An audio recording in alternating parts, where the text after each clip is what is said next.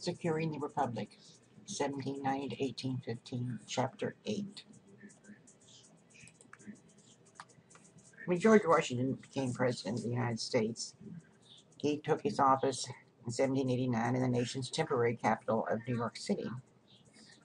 And most of the political leaders in America believed that the Republican experiment's success depended on political harmony.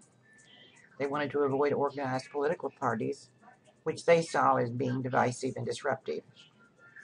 Yet parties quickly formed, first in Congress, then they spread throughout the nation. 1790s was a decade of intense partner, partner, partisanship and an age of passion. The survival of the Republic, the Revolution's legacy, and even American liberty seemed to be at stake. Now, President Washington embodied the national unity and the virtue of republicanism self-sacrifice. I mean, he retired as soon as the war was over from the army and returned to his home in Mount Vernon. And then he answered the call again of the public to serve his country. He chose John Adams as his running mate for vice president, who himself was an important political leader the, during the Revolution. And in his cabinet, he included Thomas Jefferson as Secretary of State and Alexander Hamilton as the head of the new Treasury Department he uh, appointed John Jay and made him Chief Justice of the newly formed Supreme Court. But we needed more than just leaders. We needed some kind of plan because we were a new nation. And the rest of the countries in the world, especially in Europe, uh, I mean, they looked at us, are we going to survive? Are we going to fail? Are we going to be able to pay our bills? But a financial plan proposed by Alexander Hamilton, well, to say that it disrupted, frayed national unity, yeah, a little bit. But taking Great Britain as his model, Hamilton wanted to stabilize the nation's finances, garner the support of the powerful financiers, and foster economic development. He really wanted the United States to become a world military and commercial power. And he had some good ideas. I mean, the man, as I said in the Founding Fathers little video, uh, he was a bastard by birth, but he had a brain and oh, he knew how to use it. He was really good at finances. They came up with six ways to make our nation viable. He proposed that one, we pay off at full face value all the national and state debts from the revolution. He wanted to create a new national debt by issuing interest-bearing bonds to government creditors. And the people who are going to buy these bonds are going to be the wealthy investors and of course, they're not in the business of losing money. They were going to support everything so they could make money. He wanted to establish a Bank of the United States modeled on the Bank of England. And this bank would act as the nation's financial agent, uh, be a private corporation, and it would hold the government's money and make loans to the government and make profits for the stockholders. And to raise revenue, he proposed a tax on whiskey, which is going to cause some problems shortly. And in a report on manufacturers, Hamilton called for a tariff he said, this way, if we can keep out the English, particularly the English goods, and give our fledgling industry a chance to survive, they wouldn't have to compete. And then he called for government subsidies to develop factories that would produce the United States goods, and then we can import them overseas, and we want to buy stuff imported in. So the little YouTube I've got is coming up explaining this a little bit better uh, has four reasons, but there were six. And they're sound reasons.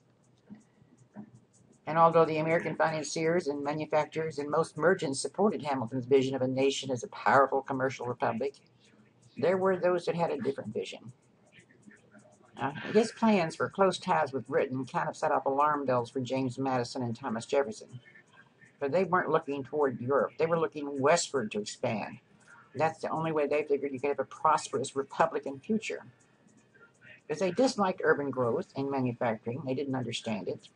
They did not want an economic policy that catered to the bankers and business leaders, especially those in the North. They hoped America would become a republic of independent farmers who sold their goods to the world through free trade. And Jefferson and Madison both feared that a powerful central government, if allied with a growing class of commercial capitalists, well, it would endanger American freedom for every man, woman, and child. Of course, the additional opposition to Hamilton's program came from the South, they didn't have any investors down there, and the owners of government bonds didn't exist down there.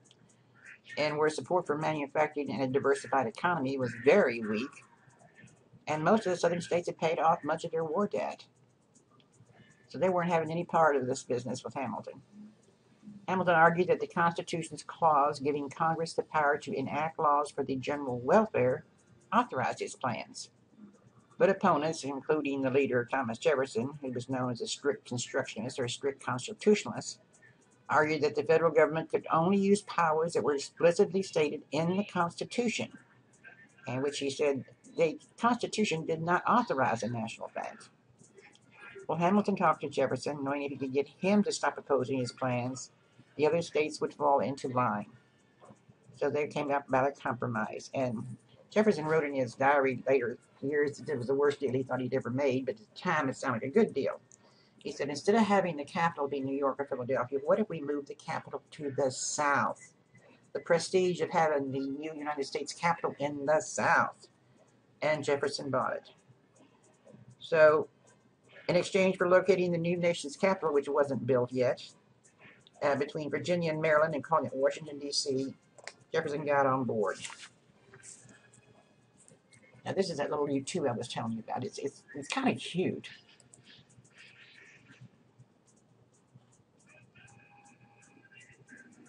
Today we're going to be learning about Alexander Hamilton, and more specifically, how he got his face on money. People back in Alexander Hamilton's time, they were pretty angry. You might ask them why. Well, first of all, the economy wasn't very good. There was a huge debt from the Revolutionary War. No one knew how to fix it. People were obviously very worried about their future, so they changed the government from the Articles of Confederation to the Constitution. Washington, as president, was really well liked. He was actually unanimously elected. However, even Washington knew that patience among the people would only last so long. Would this Constitution fix the problems, or would it be the same old thing and maybe another rebellion, or possibly even another revolution? Washington was a great leader, and he knew when to ask his friends for help. One of his friends was named Alexander Hamilton, so Washington created a job for Hamilton called the Secretary of the Treasury and Washington gave Hamilton, who was really smart with money, the job of how figuring out how to save the economy. Hamilton's first idea was to fix the national debt. He would fix that by adding more debt. Well, that doesn't make any sense. You might be looking like this right now. Well, Hamilton's plan was actually really smart. He was going to take the debt owed by each state and kind of put it all together with a national debt. Each state would be debt free, so their governments would be free to have more money to float around. And if all the debt was together, it could be paid back faster at a cheaper interest rate, which would save the country money. The only problem was that some states had already paid off all their debt. Most of these states were in the South, like North Carolina and Virginia. They did not think Hamilton's debt idea was a very good idea because they would have to pay more debt back than when they already had to pay their own debt back. They didn't think it was very fair for them. Of course, the two sides would eventually reach a compromise. Um, Hamilton's plan caused a lot of arguing between the North and the South for actually about six months, but eventually the two sides made a deal. The South decided to vote for the debt plan. In exchange, the North would agree to move the national capital from the North, it was originally in New York, uh, moved down to Philadelphia, and the North gave the capital to the South. They agreed to move it to a place called Washington, D.C., which wasn't even built yet. So the construction of Washington, D.C. would happen, and then the capital would move into the South. And now you know why the capital is in Washington, D.C. So when we go there later this year, you can remember that I taught you that. The plan that Hamilton proposed with the debt worked out great. Now that America had decided to pay the debt back and they had a clear plan, other countries now had faith in America and they invested in American businesses because they knew that they would be getting their money back. There were still more problems, though. Hamilton thought the country needed a national bank. This bank would be a place that would be a bank just for the government, and it would be a place where they could lend and borrow money and keep their money safe. The only problem was the Constitution. It didn't say anywhere in the Constitution that the government could make its own bank. However, um, there was a part of the Constitution that said that Congress could pass any laws that were necessary and proper, and Hamilton urged Congress to use that part of the Constitution to create the bank. Again, it caused a big debate, but in the end, the Congress decided that it was necessary and proper, and the bank was established for 20 years. There was one last part of the plan. Hamilton was a visionary. He really thought that America's future needed to change. And he looked at the way England ran its country, and he saw that in England they had these a lot of manufacturing, lots of big factories, and that's how the economy ran. In America, well, the factories here, they weren't so great. It looked more like a sheep in front of a watermill. So Hamilton wanted to improve American factories, and he proposed that in order to do this, the factories that did exist in America needed protection. So he wanted to put a tariff on all products that, the, that were coming into America, specifically the British products. He wanted to raise taxes on these products because it would cause American products to sell better, because they wouldn't have any competition from the imports anymore. It would help factories and let them grow, and America be, could become a more wealthy and powerful nation. And who wouldn't want that? Well, you might have guessed it. Again, the South. They didn't like any of Hamilton's plan. Um, led by Thomas Jefferson, the South opposed the tax on British goods. Factory life was different, and they didn't really understand it. It went against their values of farming the land and working land as part of your job. There's a picture of Jefferson. He was the one that led the Southern attack against Hamilton's plan. And the South also liked to buy fancy British products, so they didn't want to have to pay more for them when they were imported. The tax that Hamilton proposed never went through. It was the only part of his plan that didn't actually happen. And it started a, a real feud between the South, led by Jefferson, they would eventually call themselves the Democratic Republicans, versus the North, led by John Adams, who was a Federalist. These would be the first two political parties in America, and Hamilton's plan was one of the first things that divided the two groups. Hamilton wasn't around to see it because he died in a gun duel. Yes, back then, politicians really actually fired guns at each other. So to recap, Hamilton proposed fixing the debt problem by adding state debt to the national debt, and the South in exchange got the capital. That consolidated the debt and got it paid back quicker at a lower interest rate. Hamilton also proposed creating a national bank to lend, borrow, and store money. Was it legal? Well, maybe not, and that started a big debate between the two sides, but it did pass. And the last part of Hamilton's plan, which was the tariff, was blocked by the South, and the two opinions between the North and South really turned to those two political parties, the Federalists and the Democratic Republicans, later on. We'll learn about that in a few weeks. In the end, Hamilton's plan was a huge success. It got America on the right track financially and caused a lot of dollars to come rolling on in, and that is why Hamilton's face is on the $10 bill.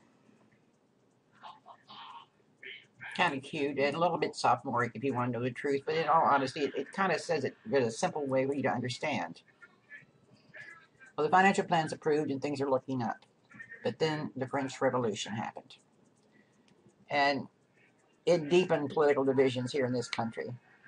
At first, the Americans celebrated the re revolution because we thought it was inspired by our revolution. But the turn in the French Revolution in 1793 to a more radical, or what we call the terrorists, because they introduced something called Madame Guillotine. And President Washington declared neutrality immediately. He said our new nation doesn't have the resources to help either militarily or financially. Well, Jefferson was pro-revolution. He didn't believe the stories coming out of France about this new piece of equipment called the guillotine. And it caused a lot of friction between Washington and Jefferson. But most Americans thought the French had been inspired by the American Revolution. And they just could not believe it, even when they heard that King Louis XVI and Marie Antoinette had been executed along with thousands of others. Anyone who didn't agree with the new French government lost their head. Once the execution became known to President Washington, uh, Hamilton and Washington and their supporters, they, they realized this type of revolution invited anarchy. And one of the things that happened as a result of this, uh, part of the reason they had such a large revolution with the lower class is because of poverty. There was no money for the even people to even afford to buy bread. It, it was not a joke. They really didn't have any money at all. So one of the first things you're going to have to do in a new government is to fix the unemployment problem. And what's the best way to do that? Draft all the unemployed men into the army and send them out to fight a war.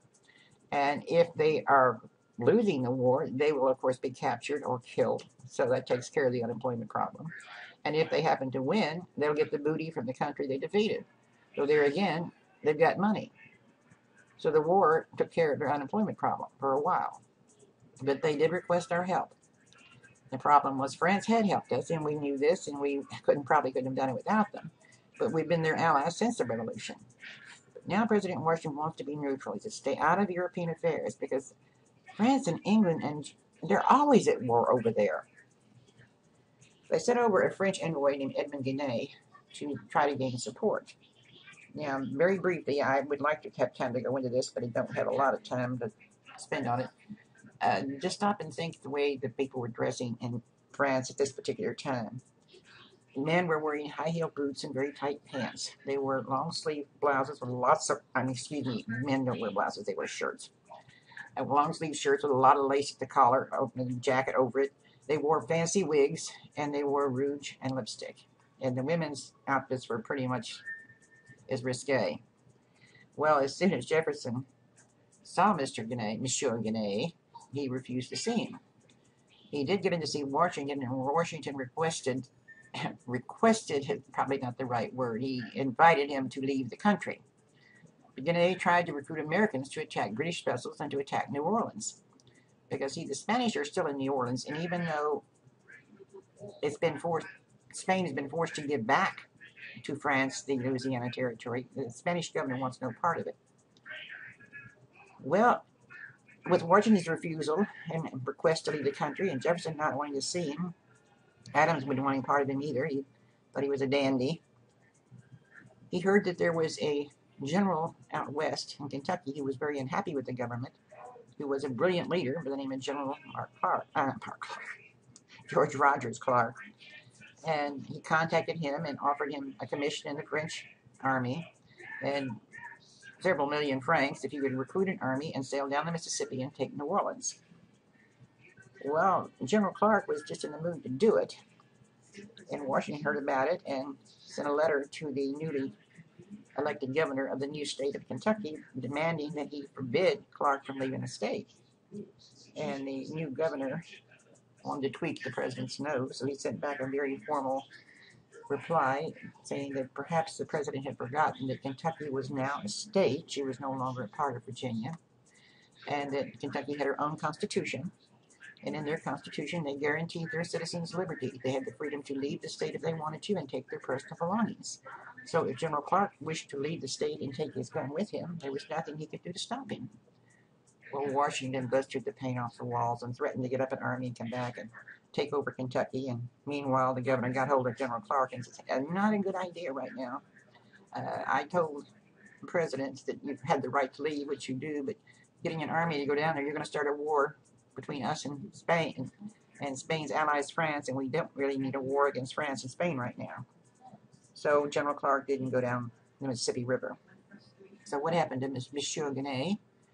Well, he'd been sent over here to accomplish something, and he hadn't accomplished it, so he returned back to France. He was going to be introduced to Madame Guillotine.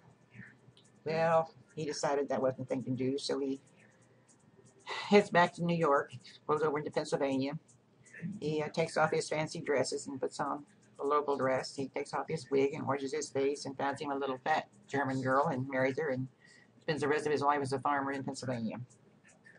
Therein lies the tale of Monsieur Genet. Well, the British are seizing American ships and impressing the sailors. John Jay negotiated a treaty in 1794 which canceled the American-French alliance and recognized the British commercial and navy as being supreme. And we were kind of caught between a rock and a hard place because both the French and the English were stopping our ships. But this treaty with Jay, like I said, canceled the American and French alliance. At least we were not involved in the war and we could trade again. And by the mid-1790s, the two political parties began to appear in Congress and they had names. They called themselves the Federalists and the Republicans. Both parties claimed the language of American liberty and each accused the other of conspiring to destroy the liberty of the people. Now, the Federalists, led by Washington and his administration, favored Hamilton's economic plan and wanted ties with Britain. The well-to-do merchants and farmers and lawyers and established political leaders, especially in the North, they tended to support the Federalists and in all honesty, they were bit elitist. And they saw society as a fixed hierarchy in which political office should go to the wealthy, educated men who expected difference from their lesser men. They feared that the spirit of liberty generated by the revolution was degenerating into anarchy. and they were very much against the French Revolution. The Republicans, led by Jefferson and Madison, uh, seemed to embrace popular pop- politics. They did support France, and they had a lot of faith in a democratic self government. The Southern planters and ordinary farmers around the country, and a lot of the urban artists, they sympathized with the French Revolution and supported this new party. And they were far more critical of social and economic inequality and more congenial to the broad democratic participation by ordinary Americans than the Federalists were. But both parties believed that the best, their best, they represented and the will of the people, and like I say, each is accusing the other. Meanwhile, armed frontier farmers in Pennsylvania tried to prevent the collection of the whiskey tax in 1794, and using revolutionary slogans and waving the liberty flag. Well, President Washington dispatched two groups to the region to suppress them. They offered no resistance, and the rebellion it, well, it only reinforced the Federalist fear of popular democracy. You can't let the common man have too much democracy. It was kind of a tempest in a teapot. But the part, part, partisanship of the 1790s, it kind of, well, it helped expand the public sphere and democratic content of American freedom. It increased the number of citizens who attended political events and read newspapers. And ordinary men who never before were active in politics, they began to write pamphlets and organize political meetings. These men called themselves members of the Democratic Republicans, and they formed societies. That, well, they kind of came out of the Jacobin clubs of Paris. They openly supported the French Revolution and praised American and French liberty. Now, the Federalists thought they were illegitimate and that they were usurping the representative, representative authority of the government. Washington dismissed them as self-created societies. Now, the societies justified their existence by claiming that the people had a right to debate political questions and to organize to influence government policy. They truly believed that political liberty involved more than just voting and, included popular organizing and, and pressure tactics. Although the societies soon disappeared, most of them were absorbed by the emerging Republican Party, but they also found some support among radical British immigrants who defended the French Revolution, such as Thomas Paine. But this democratic spirit of the 1790s invigorated the discussion of women's rights. In England, in 1792, Mary Wollstonecraft published a paper called The Vindication of the Rights of Women, in which she argued that rights should be extended to women. And she wasn't challenging the traditional gender roles. She believed that women should be mothers and housewives and this type of thing, but she also thought that women should have greater access to education and perhaps a role and representation in the government. The expanding public sphere, again, offered opportunities for American women to participate in politics, not by running for election, no, not by voting. But there was a small but growing number of women who were publishing political and literary writings. They were publishing in the newspapers. One of these was a lady named Judith Sargent Murray, and you do not need to remember her name. She insisted that women should have equal access to education. She said if women seemed intellectually inferior to men, she argued it was because they were denied an opportunity to learn. So while women were not part of the body politic, so to speak, women were counted in determining representation in Congress. And nothing in the Constitution explicitly limited rights to men, and that was a document that almost all Americans assumed that politician politics was an exclusively male sphere, uh, using the excuse that women don't have the emotional capacity. And George Washington was reelected unanimously in 1792, but he decided to retire from public life in 1796. Things are not going well, and we, we've got all kinds of things going on, and it makes him unhappy. So he set the precedent that the presidency should not be a lifelong office. And in his farewell address, Washington warns against policies and partisanship, and he urged the Americans to avoid Europe's power politics by refusing to embrace permanent alliances with Europe or with any other nation. The election of 1796 was the first contested presidential election. John Adams and Thomas Pinckney of South Carolina ran for the Federalist side, and Thomas Jefferson and Aaron Burr of New York ran for the Republicans.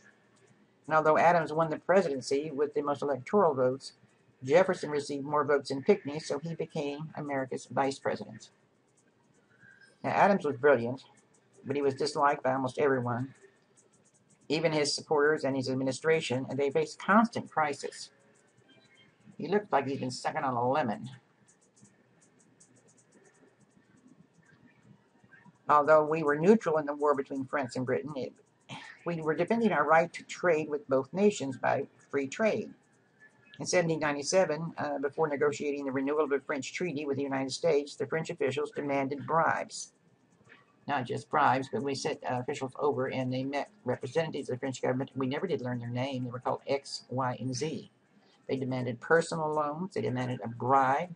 They demanded an apology from Adams to see the leaders for the treaty talks. They even demanded a loan for their government. Well, when the Congress wanted to know why it's taken so long, Adams informed them, Congress and the public, and all of a sudden we're in a quasi war with France. And we had this rash of federalism support all of a sudden. And we, in effect, became an unofficial ally of England.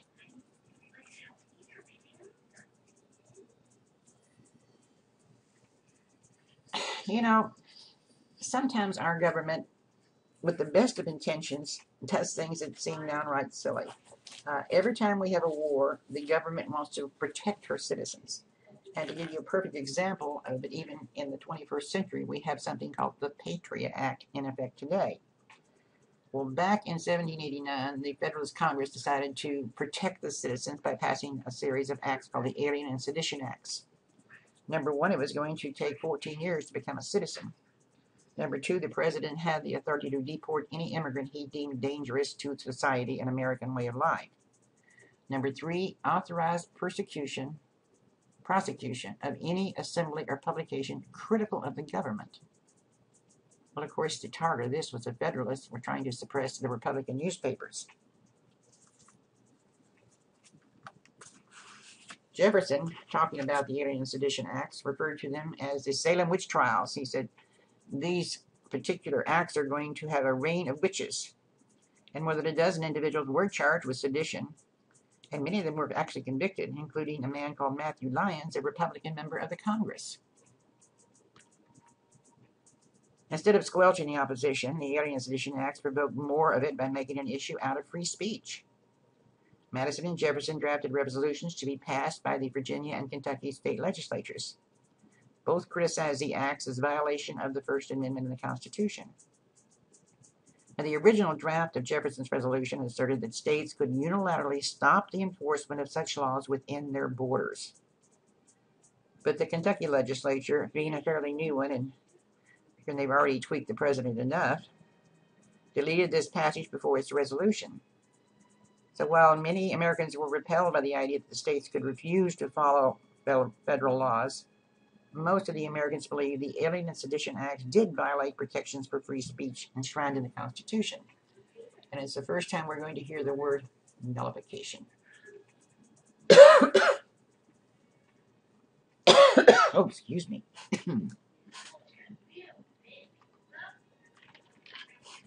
so the Virginia and Kentucky resolutions were simply an effort to state to the federal government, and they used the argument we created the federal government. We should have a right to make some of the decisions. And, but nullification, uh, this is going to be a word that's going to come up again and again over the next 70 years.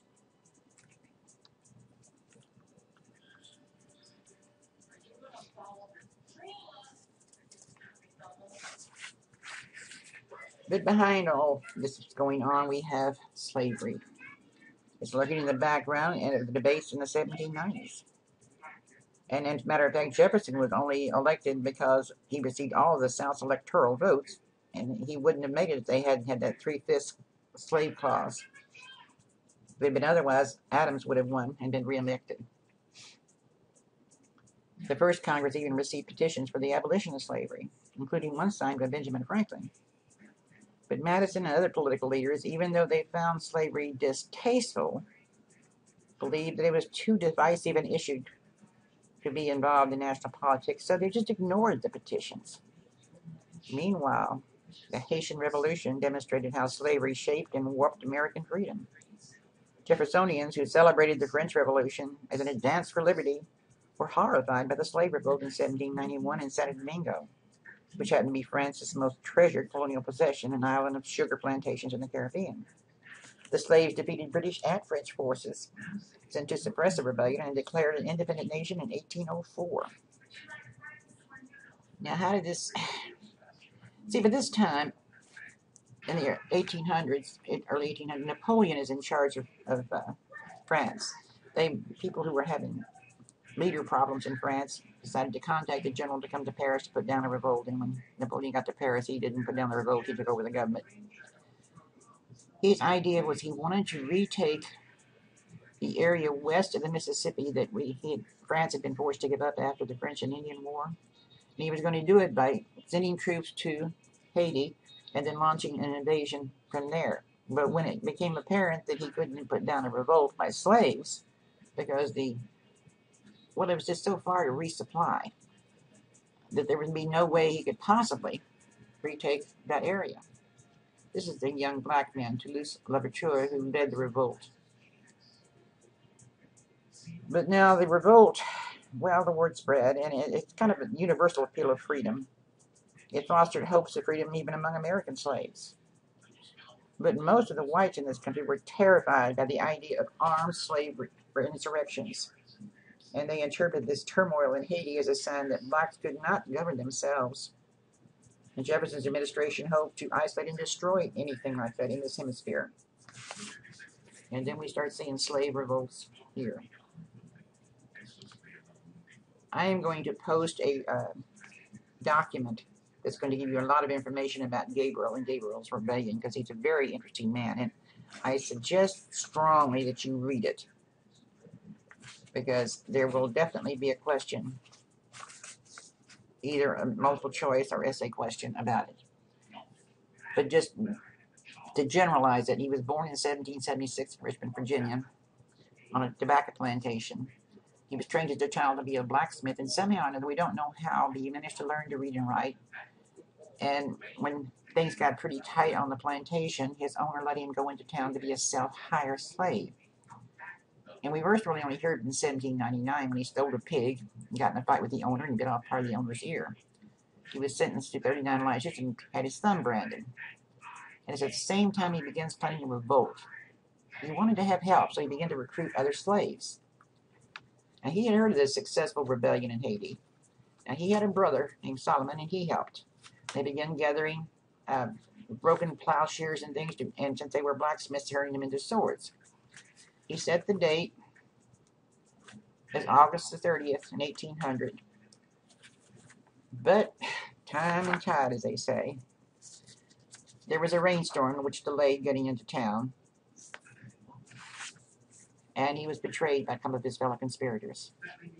And it happens in every revolution, I mean, every revolt that we have. You'll think you've got a hundred loyal people who want to revolt, and there'll be one who's scared to death. What if the revolt fails? If it fails, we're going to all be executed or whipped to death. And they get frightened, and they'll tell their owners what's going on. And this is pretty much what happened. Two of the supposed volunteers were slaves, house slaves, and they told their master what was going on. More than 30 slaves who were just happened to be in the wrong place got arrested. It didn't matter if they'd been involved or not. They were black and not in, in the slave quarters. They got arrested. Gabriel escapes and goes to Norfolk. There he was betrayed by a slave and a free black for the reward. So he was brought back and he was tried, convicted, and hung on 10 October of 1800. That's not a... It just really doesn't do him justice. But like I said, the little document I'm going to post will. So what were the consequences? Well, the white slave owners became very, very watchful. The states expanded police and spy system, and, and Jefferson even used bribes to get his slaves to act as spies on each other. The black codes were tightened everywhere, especially the part about learning to read and write, and it became much more difficult to free a slave. If you did have a free slave, the free slaves had to leave the state by law. I know Virginia and Kentucky had the law that you had to leave if you were free. And of course, it makes sense. Why would you want a free slave that close to your slaves that were not free? You might give them ideas. And of course, Vesey and Turner, who are going to perform rebellions here in our country, heard of Gabriel and his dream of freedom.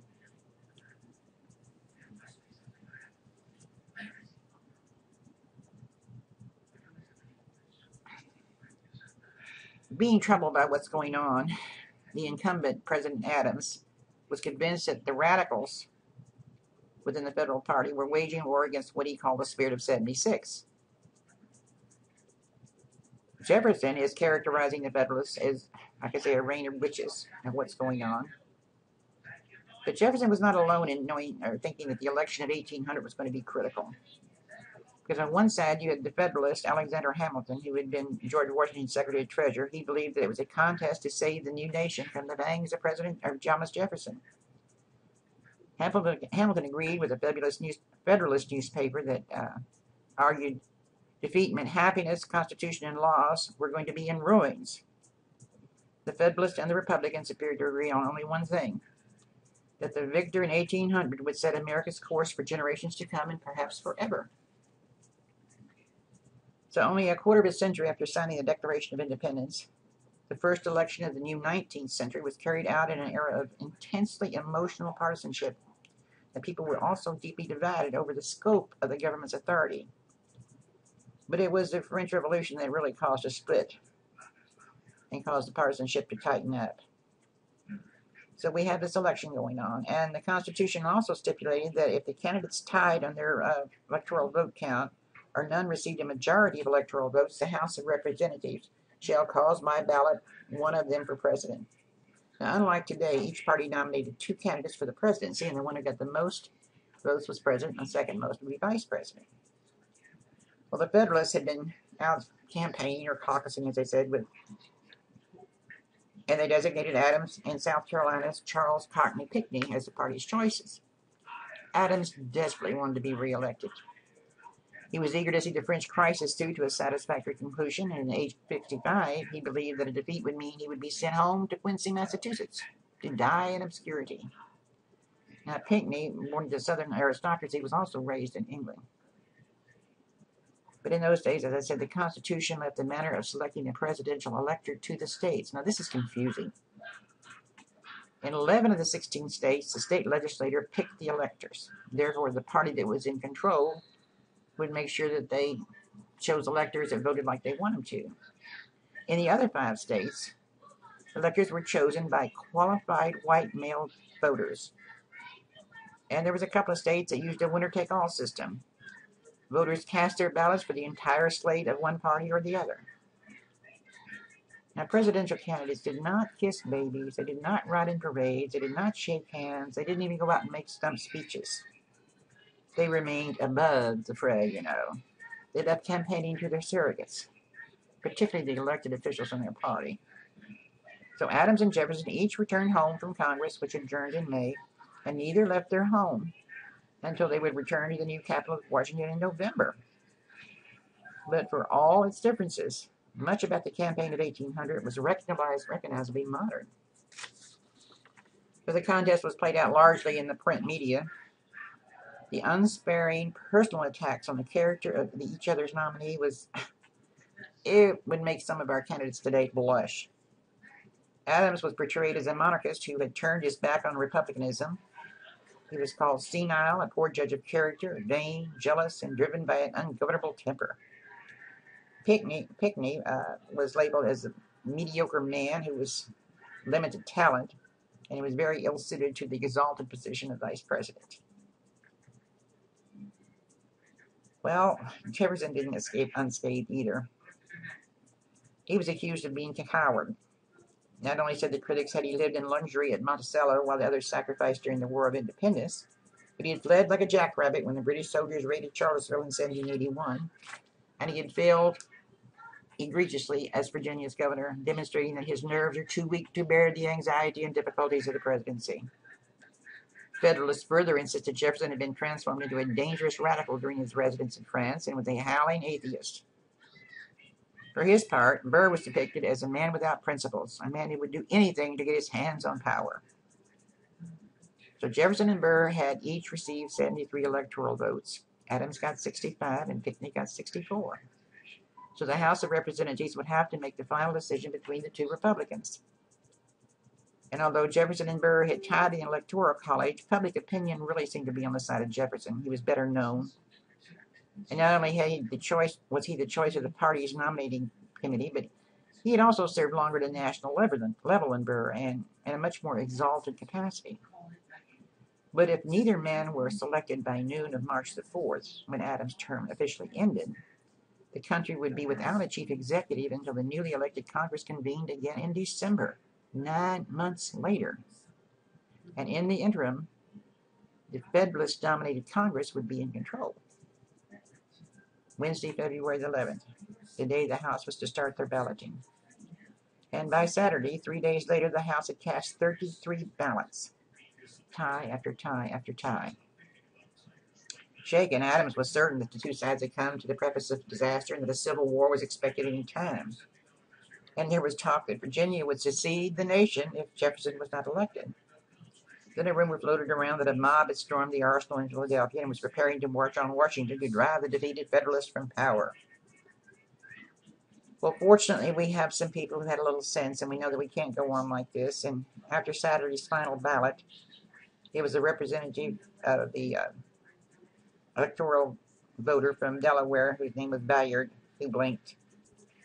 The following day, February the 17th, the House gathered at noon to cast its 36th ballot, and it turned out by one vote, Jefferson won because nobody had changed their mind. Bayard had abstained. So Jefferson became president by one vote. And this just shows you the breakdown. As you can see, uh, the Federalists are being kind of pigeonholed in the Northeast. This will give you just a little bit more information about the election.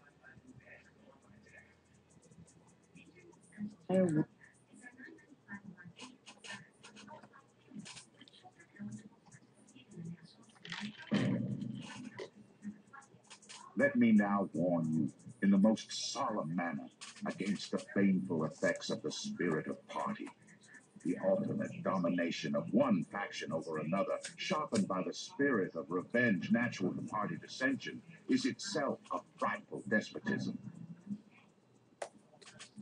Despite George Washington's dire warning, two distinct political parties were discernible by the end of the 18th century. The Federalists emerged from a coalition that had fought for ratification of the Constitution in 1788 they were bound by a commitment to an energetic federal government. Washington was, by inclination, a Federalist, yet clear divisions over economic and foreign policy surfaced within his administration. Jefferson frequently opposed Federalist initiatives and eventually resigned as Secretary of State, complaining that he and Hamilton had been pitted against each other every day in the cabinet like two fighting cocks. James Madison joined Jefferson in leading the opposition Republican Party. The Federalist notion of the relation between the government and the people was that the people voted and then the people shut up and they let their officials carry on all the business of government. The Jeffersonian idea was that the government were servants of the people and the citizens should be actively involved all the time. By the election of 1800, the two parties were openly promoting different platforms. John Adams and Charles C. Pinckney ran for the Federalist Party. Thomas Jefferson and Aaron Burr ran as Republicans. The Jeffersonian Party is the first party to recognize that it has to um, regard party behavior seriously and mobilize voters um, at, at, the state level. Um, and to regard the election as a kind of contest um, in which um, what we would now regard as modern political organizing is necessary. The Federalists don't understand that. Um, the Federalists think that they just have to present their candidates um, and the, the, people will naturally gravitate towards them. Federalists remain more deferential and more uh, classical in their notions about what politics is supposed to be. In the election of 1800, the Republicans better reflected the anti-elitist spirit of the times. When all of the votes were in, the two Republican candidates were locked in a tie for the presidency. They ended up with a tie vote because party discipline was so excellent, the Republicans were so well organized, everybody voted for the two men. Now, the Constitution had arranged that the winner and the runner-up would become president and vice president respectively. The Constitution also said if there wasn't a winner, uh, that the vote was thrown into Congress, so thrown into the House. Then came the possibility of denying Jefferson the vote. And the Federalists, there were enough Federalist spoilers that would love to have done that. To Alexander Hamilton's credit, he, he was the one who squashed that. He didn't like Jefferson, but he detested Burr. And so it didn't happen. And Jefferson was elected on 37th, 8th, and 9th ballot. It was clear uh, then that the Constitution had not foreseen the development of parties. And so uh, the constitutional amendment was proposed and passed very quickly, which set up separate elections for the president and vice president.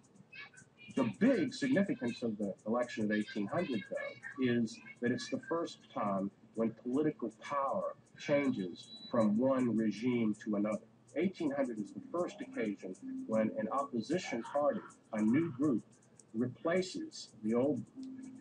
By the creation of political parties, the United States effectively creates a way to discipline and structure and internalize conflict and to create a situation in which different points of view can coexist without one side annihilating, massacring, executing the other side. The United States, in effect, internalizes a permanent dissent with the creation of political parties. What's significant is what doesn't happen. Jefferson wins the election. The Federalists are truly horrified. They think that he's a very dangerous man, but they don't take any action. They don't rattle any swords. They don't talk about secession. They just go home and grumble. Power is transferred peacefully, and we can measure the, the real significance of that by the number of times in world history in which groups of people in power have not given up that power when they've been voted out of office. And they've overthrown the government, they've overthrown the Constitution. We cannot have democratic politics unless the people who are the participants in politics are willing to abide by the decisions of the ballot box. Jefferson's inaugural address was conciliatory. Every difference of opinion is not a difference in principle. We have called by different names brethren of the same principle. We are all Republicans. We are all Federalists. However, in a private letter of the same period, Jefferson wrote, I shall, by the establishment of Republican principles, sink federalism into an abyss from which there shall be no resurrection of it.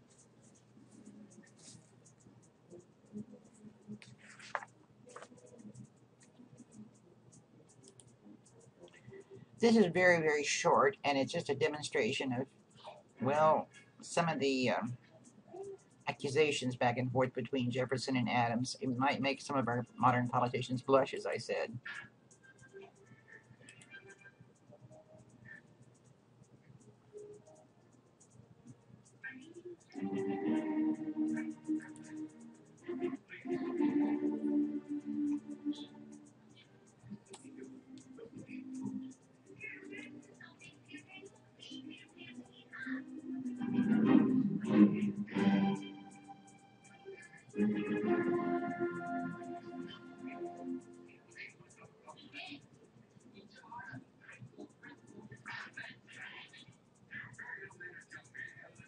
John Adams is a blind, bald, crippled, toothless man who wants to start a war with France. While he's not busy importing mistresses from Europe, he's trying to marry one of his sons to a daughter of King George. Haven't we had enough monarchy in America? I'm Thomas Jefferson, and I approve this message because John Adams is a hideous, hermaphroditical character with neither the force and firmness of a man nor the gentleness and sensibility of a woman. If Thomas Jefferson wins, murder, robbery, rape, adultery, and incest will be openly taught and practiced. The air will be rent with the cries of the distressed. The soil will be soaked with blood, and the nation black with cries. Are you prepared to see your dwellings in flames, female chastity violated, children writhing on a pike? I'm John Adams, and I approve this message because Jefferson is the son of a half-breed Indian squaw raised on hoe cakes, and Hamilton is a Creole bastard brat of a Scotch feather.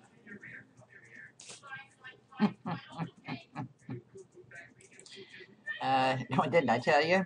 It's uh, hard to believe that our founding fathers, and like I told you in the founding fathers little video, uh, these were men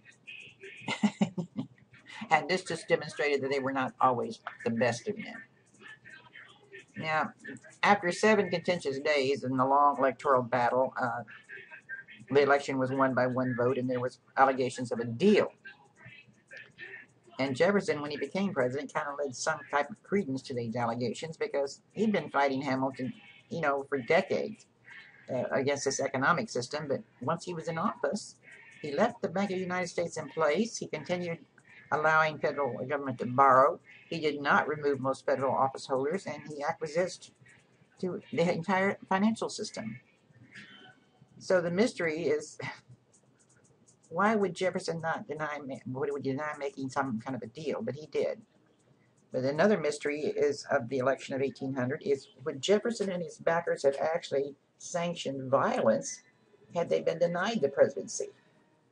But soon after taking office, Jefferson began claiming that there was no deal struck, and at his inauguration, he pledges, and I've got 11 things here. Uh, he wanted to conciliate his Federalist opponents by claiming that both parties shared the same principles, even if they disagreed in their opinions. And Jefferson vowed to reduce the government. He wanted free trade. He wanted to ensure freedom of religion and the press. He wanted to avoid any entanglement and alliances with any of the other nations. He did try to dismantle much of the Federalist ways of doing things and, and prevent the kind of centralized state the Federalists had promoted. He did pardon those jailed under the Sedition Acts, and he reduced the Army the Navy and the number of government employees. He abolished all taxes except for tariff and paid off part of the national debt. Despite his wishes, the Supreme Court, under Chief Justice John Marshall, an appointee by Adams and a Federalist, it increased its power during his administration, and he did everything he could to try to get rid of him. And one interesting case is he uh, ends up trying Aaron Burr, his vice president, after he leaves office for treason. It's called the Spanish conspiracy theory, but uh, it involves history of another state in the Mississippi River, which we won't get into. But Chief Justice John Marshall, uh, in his decision, the Marbury versus Madison in 1803, uh, the Marshall Court, as it was called, established the right of the Supreme Court to determine whether an act of Congress violates the Constitution. This became known as a judicial review. He also established the right of the nation's highest court to determine the constitutionality of state laws, which really ticked off the states.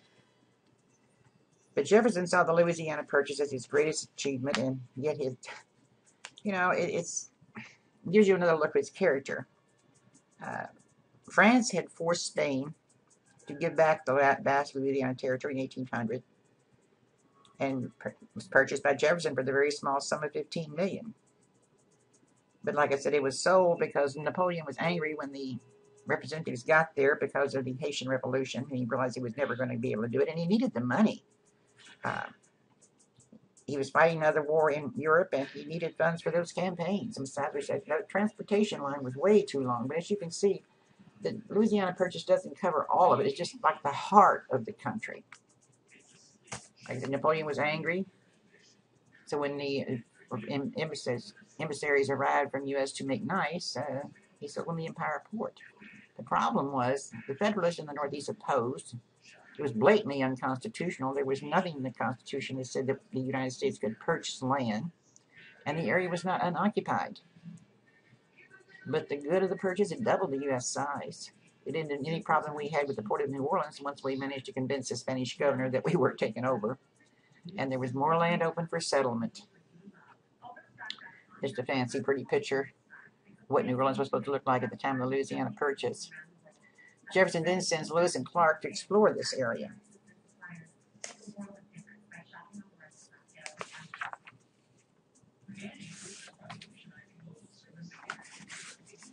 He wanted them to, he gave them a list of five, well, should be four things, not five things.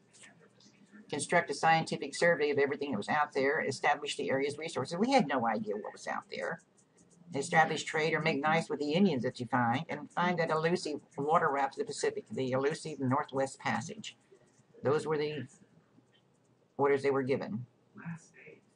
And New Orleans, like I said, once we convinced the Spanish governor that we were going to take over, you first it was French, then it was Spanish, then it was French, and you've got all those people coming in from the Caribbean.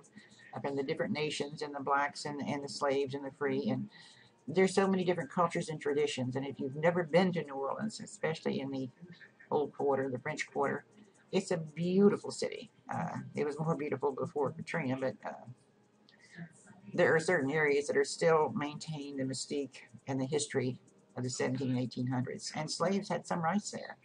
But like I said the Spanish governor did not want to turn over control. We had to convince him. And here again Oh dear, come on, behave yourself. They left from St. Louis, went all the way, oops, my finger's heavy tonight, to Fort Clatsop where they stopped. And this part in here is claimed by Spain, Great Britain, the United States, and even Russia is having some coming down this way. So we actually, the boundaries were never really set that much in stone and this this is what just amazes me that these men I mean it's almost like a picture. It's so good. Now this is a very brief video and it's really more pretty than it is informative but here we go.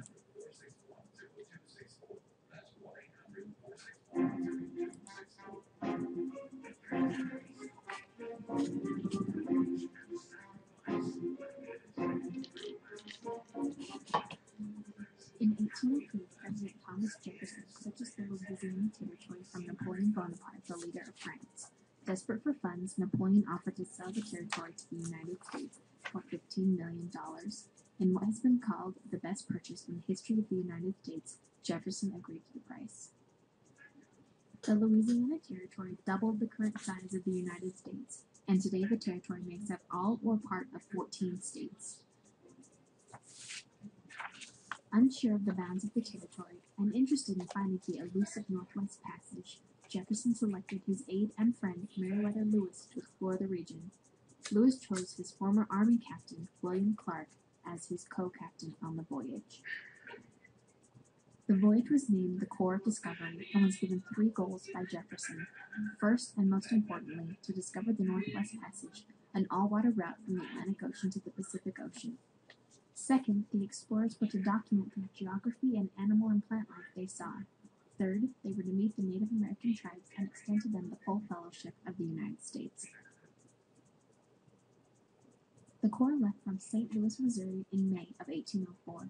They traveled on water wherever possible and wintered in present-day North Dakota with the Mandan Native Americans. The help of the Mandan Native Americans was invaluable to the Corps of Discovery during the winter, Lewis and Clark were introduced to Toussaint Charbonneau, a French-Canadian fur trapper, and his wife, a Shoshone woman named Sacagawea. Charbonneau and his wife were invited to be a part of the expedition, as Sacagawea could serve as a useful interpreter for the Corps. A few months after they met, Sacagawea gave birth to a boy named Jean Baptiste. Clark and the other members of the expedition nicknamed him Little Pomp. From the Mandan Native Americans, the expedition traveled west. The terrain became more rugged, and there became fewer navigable rivers to traverse the area.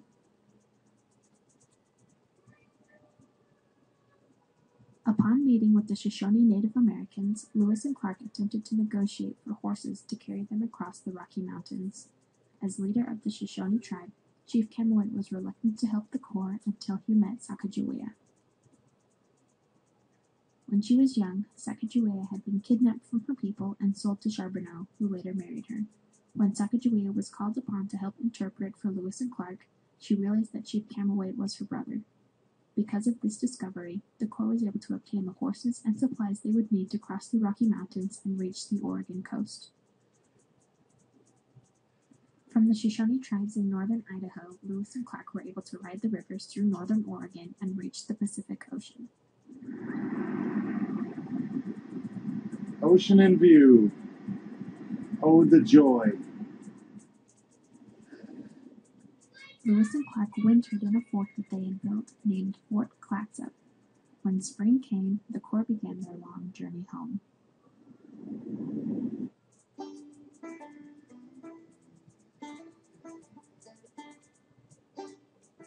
Although they did not discover the Northwest Passage, the Corps of Discovery successfully completed their other objectives. They created good relationships with the Native American tribes that they encountered. They accurately mapped the region that they traveled, creating approximately 140 maps of the territory. They also documented and discovered over 100 species of animals and approximately 176 plant species. The expedition even sent a caged prairie dog to Thomas Jefferson, as the animals had never been seen in the East before. From the wide and flowing Mississippi to the mossy trails in Oregon, Meriwether Lewis and William Clark had traversed the country, ending their journey after two years, four months, and ten days.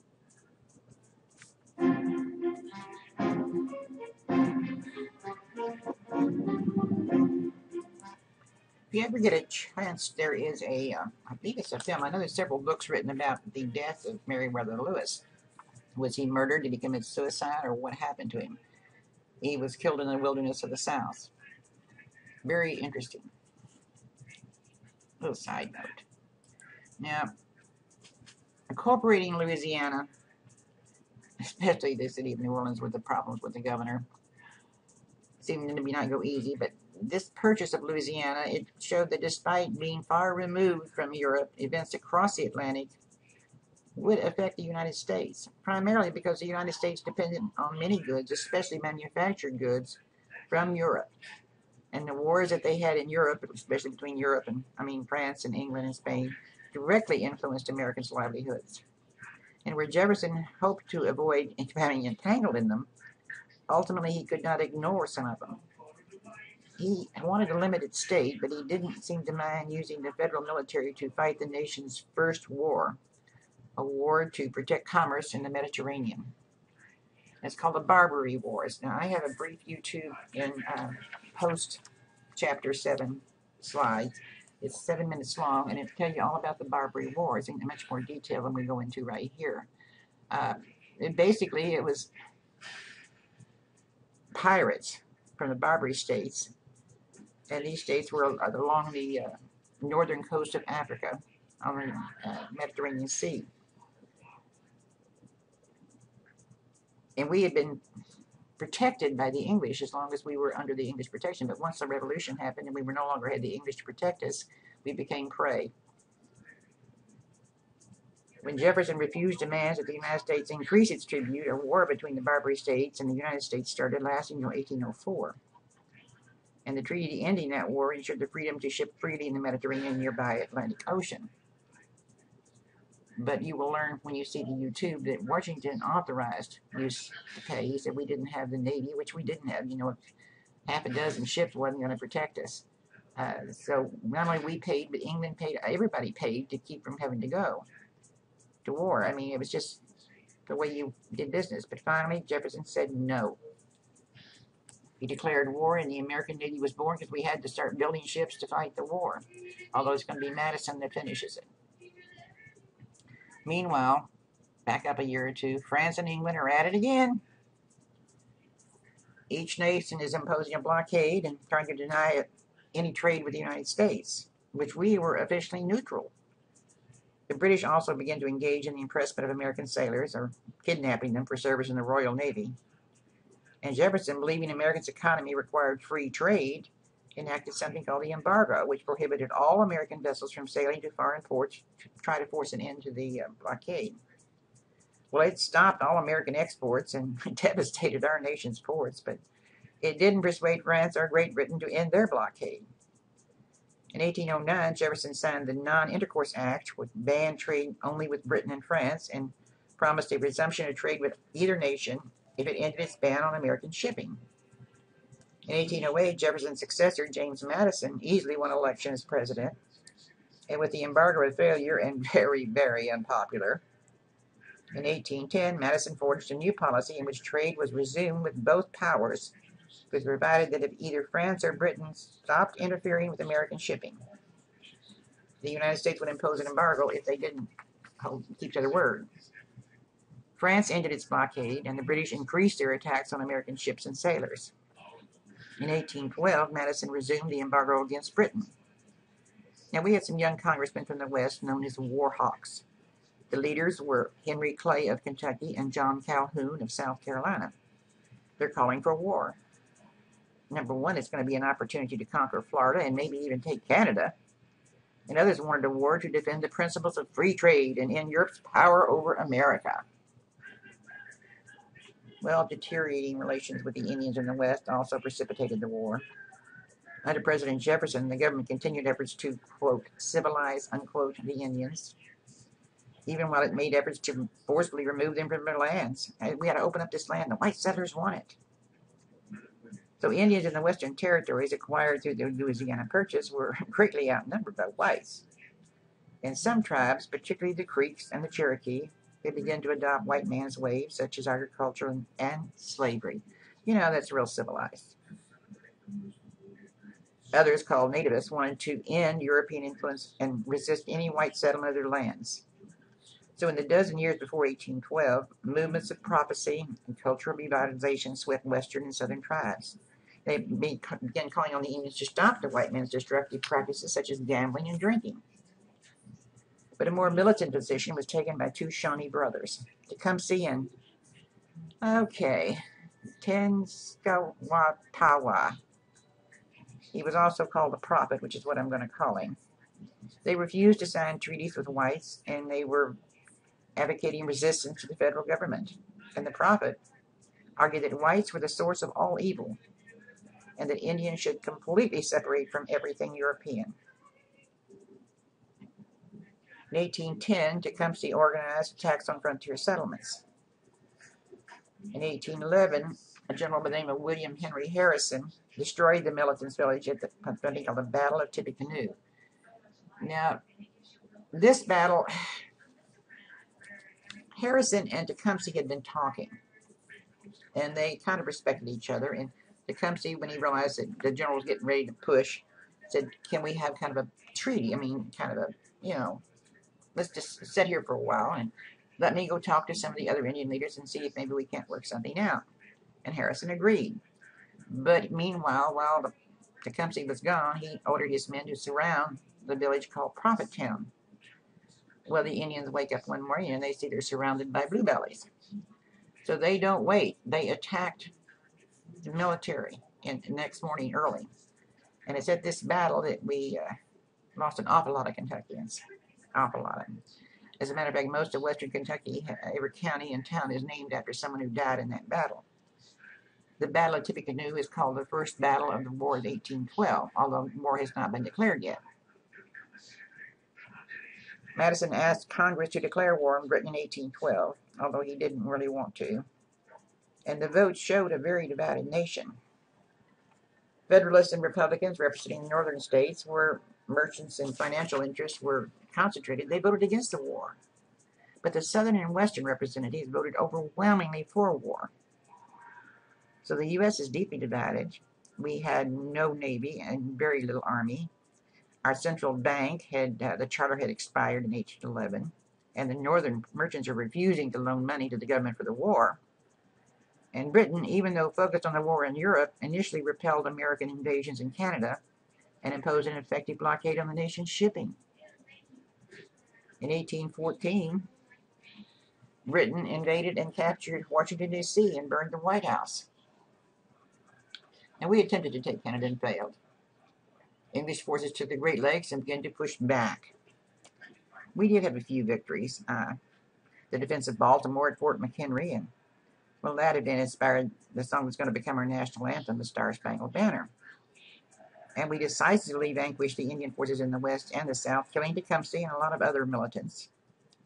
But most notably, forces led by Andrew Jackson forced Indians to cede much of the southeastern lands that were going to later become Alabama and Mississippi and then repulsed the British forces at the Battle of New Orleans in January 1815. The battle was fought after the war had ended, before news reached America that the American and British negotiations had signed the Treaty of Ghent, which ended the war the previous month. But the treaty changed nothing. It gave the United States no territorial rights, and there was nothing said about U.S. ships or impressment. Now, this is supposed to be the picture of the portrait of the taking of the city of Washington and the bombardment of uh, Baltimore's fort. Now, I think I have mentioned to you before, if you ever get a chance to do any kind of research on the president's life, you've got to pick Abigail Adams or Dolly Madison. Dolly was quite a few years younger than her husband, and she was a party girl. Everybody loved to go to the White House because of Dolly, not because of her husband, who was a little short fellow that sucked on a lemon too much. But it's Dolly who's given credit for saving the Constitution and the uh, Declaration of Independence and a lot of important papers because Madison, this little bitty drink of water, is out on a horse trying to lead the military. He's good at writing, but he's no good at leading an army. And Dolly was left in Washington, so when she saw the British coming, she took off.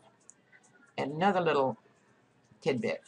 We sometimes can't understand why Americans are so sanctimonious about thinking that they're right and that their way is the best way and that we're God's chosen people. Well, it seems like every time we take a step forward, uh, something good happens. Now, yes, Washington was burned, but not totally because something happened that had never happened before. A hurricane went up the Potomac, and it rained so much and the winds blew so hard that it started putting out the fires, and it was blowing the soldiers and the cannon of the British all over the place. Now, isn't that a sign that God's on your side? Well, at least the people took it that way. But this war of 1812 is sometimes called the Second War of Independence. That war affirmed the ability of our republic to defend itself and wage war without sacrificing republican institutions.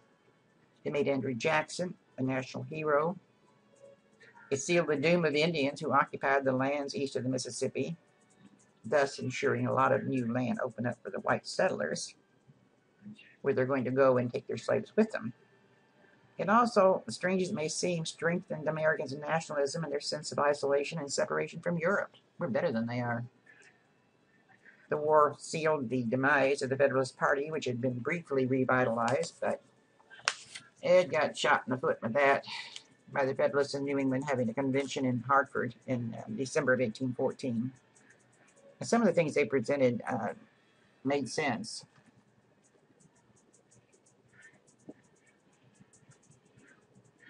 They wanted to get rid of that three uh, two-fifths votes in Congress for uh, to get rid of the counting the African Americans as three-fifths of a person. They wanted two-thirds vote in Congress for declaring war to admit new states, and they wanted laws restricting trade.